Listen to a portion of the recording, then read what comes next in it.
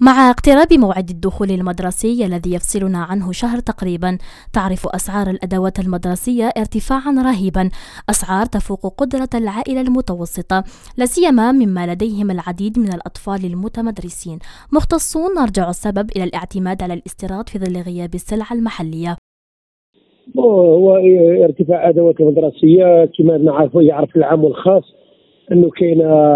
أزمة عالمية ومع أزمة الكوفيد كان فيه مشكل عالمي ولكن في الجزائر كانت شوية أزمة خصوصية أنه ارتفعوا الأسعار في كل المواد ماشي غير أو وشنو إحنا كان كاين مشكل آخر اللي هو كان توقف الاستيراد وهذا اللي أثر سلبا على الأسعار.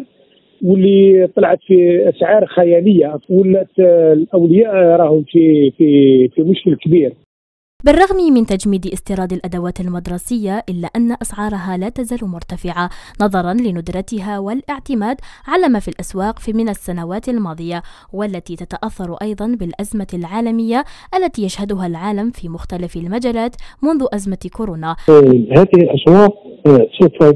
تعمل على تقليص السلسله التجاريه يعني عوض انها مر على تجربة جمله وتجربة جزئيه ليبيا ومشروع هذه الأسواق سوف تقلص هذه العملية وبالتالي الهوامش الزائدة سوف يستفيد منها المستهلك ويجد هذه